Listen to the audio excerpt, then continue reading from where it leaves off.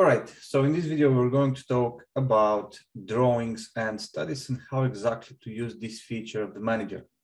For the sake of the example, we have a sell position right here on euro dollar. And the assumption for this example will be that as long as the price is holding below this trend line, I would like to be in a sell position. If we get a break above this trend line, I would like to close this sell exposure.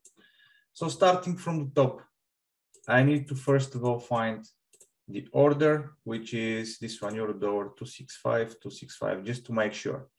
Since the assumption here is that I'm going to be closing the entire trade, I can do either 0.4 lots or I can do 100%. It's all the same.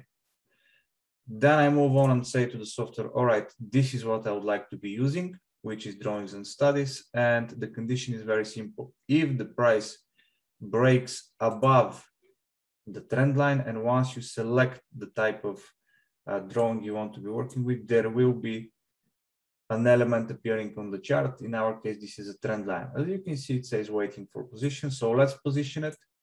Those are the two touch points here and here. And if the price breaks, okay, that's good. So if I'm happy with that, I'm gonna lock it. It says positioned now. The type of the line is also changed. And then the very last part is to say, what would I like to happen if this condition is met? What I'd like to happen is to close the position. So I just click close position and now I leave it and that's it. Okay. If the price breaks above this position, will be closed. Thank you.